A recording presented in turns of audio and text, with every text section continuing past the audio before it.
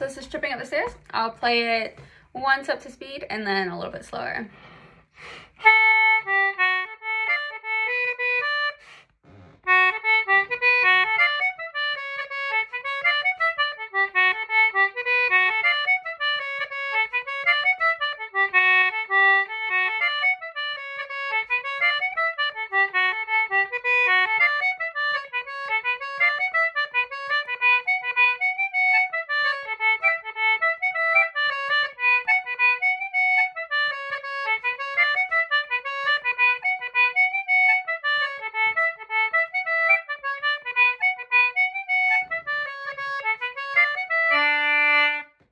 Ending with that D octave chord.